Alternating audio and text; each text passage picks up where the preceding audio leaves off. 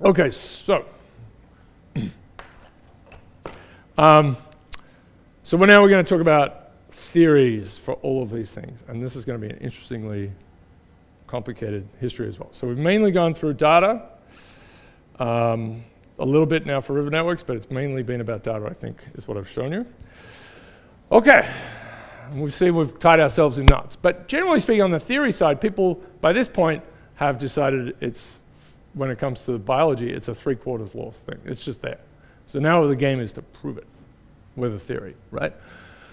Um, so that's right. It's game over. Right? So now we've got to come up with a beautiful story for it, and it's there, and you will, you know, you'll win fame and acclaim, right? So uh, McMahon, who was a mentor to Strogatz, if some of you will know his name, that I've mentioned him quite a bit. Um, Watson Strogatz, of course, for Small World Networks, but Stro Steve Strogatz has done a lot of cool things, especially around synchronization. Anyway, so that's a connection there. Um, so he was at Harvard, I think, did uh, talked about elastic similarity. So this is really allometry. Um, and he was, by this point, he's like, well, where's this three quarters thing? So his claim is that it's to do with the shape scaling um, of shapes of organisms scaling with, scaling with quarter powers. Uh, this is bad. He does cite this Hemmingsen, and this is the crazy Danish uh, booklets that are just bananas um, that have like slime mold and stuff in them, things made up. Right? This is the one that essentially assumes three quarters to be true and is just really fitting the um, y-intercept.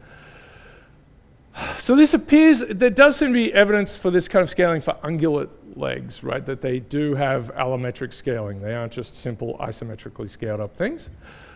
That's one. Um, so it's just sort of a very rough statement. You know, does, he hasn't, he doesn't have some beautiful story for everything.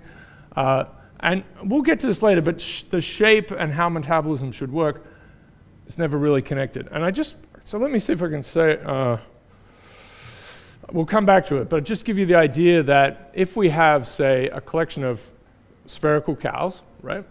So they're scaling up, and we imagine they're, you know, I mean, you imagine just normal cows scaling isometrically, but spherical cows are funny. So they're growing in size. Uh, and then you have pancake cows, right? They're pancakes with legs, and they're scaling, but they're not getting thicker, right? They're getting thicker very, very slowly, right? Then the surface area ratio to volume is much higher in those those pancake ones, right? So they give off heat much faster. It's a sort of a bad situation, right? They're, so they, they, you would think that's uh, problematic. You would, you would need a, you, you, it wouldn't be a great sort of system to run. And then you also have to think about the, how the network inside that thing works. And we'll get to that later. That's a bit more complicated. Because it's not just the surface area. You do have this network from a single supply, the heart, somehow supplying that thing. So we have to think about how that scales. And it turns out, well, well, spoiler, um, because science, uh, that we are, what we'll find is that it only matches up for isometric scaling, that the network structure makes sense with the um, heat given off story, right, with the surface area. Right? So if, if they're mismatched, if you have allometrically growing shapes, then the network can't match up. The way the network will scale can't match up with how the surface area scales. We'll come back to it, but I want you to have that idea. And that, I think, is a really beautiful thing. Yes. Okay, so here's the sort of thing. This is a science paper. Um, and just you know, messing around. So someone's been me measuring chest circumferences of monkeys um, and things like that. And he's playing around with uh, trees, right? Trees have a slightly different story going on potentially. Um, do they, though? I don't know. So this 0.63 here would be sort of like this is uh, 5 eighths maybe. Mm, mm. Anyway, sort of just points to a little bit. If you, you can dig into it some more if you want. Um, okay. this is interesting. This is actually Hemmingsen again. Um, so has a suggestion here perhaps that there's a two-thirds power, right? Possibly a 10K thing. There, there it is, 0.69. Oh, God, such a mess. and you can see that departure in that graph up there for, for larger things. Uh, and this is, this is for surface area, yeah. I have, this, I have a memory that some, there was some effort to measure the surface area of cows with, by painting them. and how many clicks of the roller it took. I mean, it's kind of tricky. I mean, you could, you know, unanimal the animal and, and you have a, a skin to measure, but that's, um, you know, it's also not, you know, that, that might not work out either. What's that? Yeah, so right, gets a little, that's not ideal. Yeah. um, Hemmingsen. Yeah, so that, you know, that's interesting. This was actually, this was actually a surface area plot. You know. And he, you know, tons of citations here, right? There's a, um, you know, horses and, wow, a ringed snake? That seems tricky, yeah although maybe easier to measure, right? You just measure the length and then multiply by the, we'll put a little tape measure around the snake. Can you imagine? I mean, people with tape measures and snake, I mean, it's just like a disaster, right? Uh, some of these will be easier than others. Um, but the, see those names, Benedict, Benedict Brody, Hemmingsen. Oh, I hope he did this well. I don't think so. Frogs were in there. Fair enough. Yep. How much does it take to paint a frog? unbelievable. but an interesting, tricky thing. And then they have sort of folds and so on. And then when you think, yeah, so that's, that's a problem. Okay. Pratchett's surface area is larger than it should be, obviously. Um,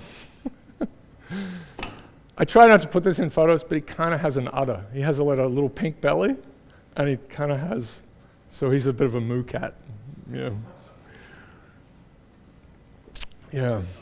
I know we're trying to lose weight for anyway. It's not working out. Um, what was that?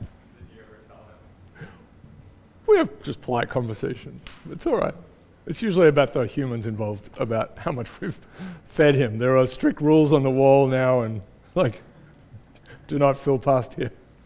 uh, but he's very cunning. Okay. Um,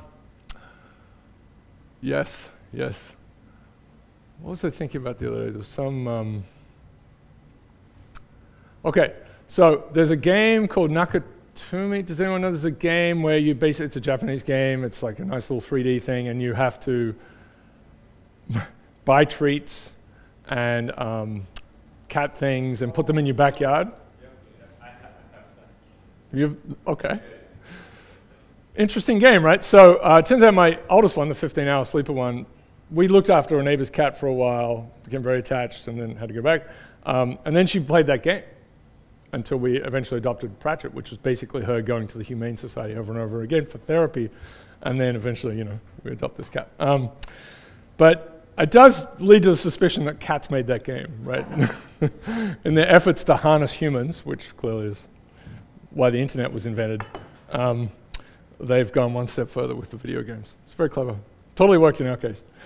Yeah. Okay. All right. Let's look at some madness then. I think we've looked at some madness, but this is really strange. This is a 977 Journal of Theoretical Biology paper. It's about three, three pages. It just flat out says, well, what if biology is somehow four dimensional? Right? There's some sort of extra foldy bit in there, maybe fractal. I'm not sure if this person even says fractal, that, that we're not really figuring out. Because if it's going to be this three quarters thing, this is the simple observation. If uh, surface area scales as mass to two-thirds in 3D, but it scales as mass to three-quarters in 4D, right? So if, and I mean, they're sort of touching on something that's possibly a, maybe works out, right? Because I mean, say, you know, our lungs basically fill space. I mean, so there is this feature of biology that's you know, trying to, you know, we have fractal structures in us.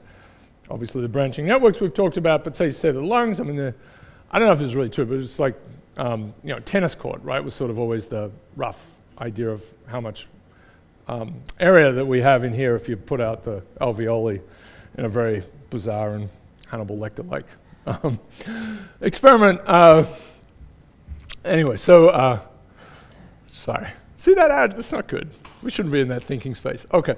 So so, so fair enough. Yes, you know, sort of. Maybe it's not really a fourth dimension like the Twilight Zone or something, but it's like there's some scaling, and we'll see a ridiculous thing again a bit later on. But this was pretty nuts. It just sort of says four dimensions would work, right? Because then it would be four minus one over four. Yeah. This really. Yeah, this is pretty silly. Yeah, some strange people. Well, you make up stories. If you're a monk and you're really into it, you can make it happen. Yeah.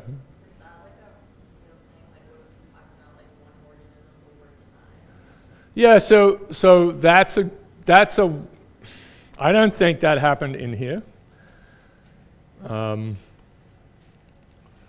let's open the, the the tome of Blum. It would be great if it was related to the Arrested Development Blooms, but I don't think so. Okay, so may have committed committed some light treason. Uh, oh, Schmidt Nielsen, which I haven't talked about that. So here's the scaling. Says is a value close to it, right? Here are all the things. Rubner with the dogs measuring the things. Um, here's McMahon, as we've talked about. Da da da. Let's see. See, it's really short, actually. It's just these things. Put a pi in there. Very nice. Bull barking, right? So he's citing some, some math. Um, wow. And then said, this is just really unnecessary. I mean, this is the volume of a sphere, right? With gamma functions, the full business. You don't, a little bit overkill for what we're doing, right? It's just an envelope situation, people. Um, look, it's just, I mean, this is fantastic. And then says, then, then, then here's our scaling, right? I mean, this is all a bit too much, but basically it should be just volume, uh, or area scales as volume to this, and this is n minus 1 over n. I mean, also, I mean, just from a taste point of view, n is not, a, not for dimension. It's a number thing. Like, this is just hurtful. Okay. It is funny. There are real tastes and cultures in the way people annotate things. Like, computer scientists just don't care. You know, they're just going to have a variable and it'll have a name and maybe an underscore. Fine. To the power of five. You know, they'll just do it. And you can read it. It's like connected to the things. And that's fine. Pure math gets very, you know, they're into Cyrillic or whatever. It just like goes right under Gothic things. You know, fine. That's also cool.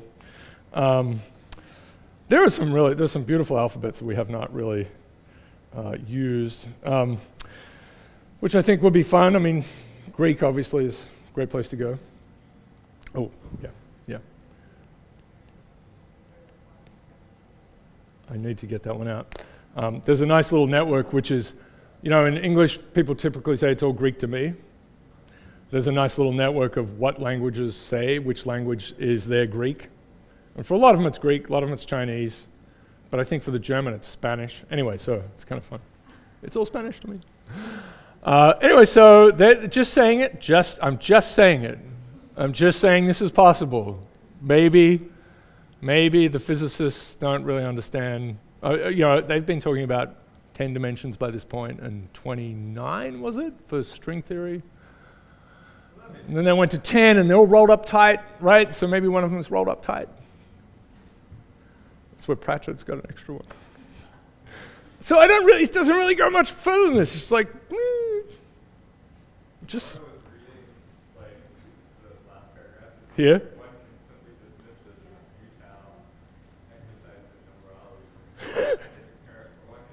I haven't looked at this for.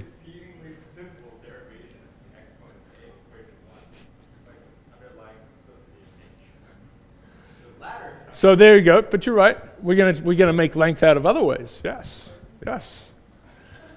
And and so there's let's see if it says time. Mechanic. Okay. Ratios of quantities determine mechanical stability. It's like okay, we're just like running. We're just like fossicking around in the drawer to find another thing that looks lengthy. Yeah. Wow. Energy. Just yeah. So maybe. It's pretty funny, right? But that's just been sitting around and, yeah, oh, yeah, oh dear. Looks good. You throw in a gamma function, it gave it a bit more, um, you know, panache, right? Okay. Obviously a bit silly. I think that's uh, we should go with that.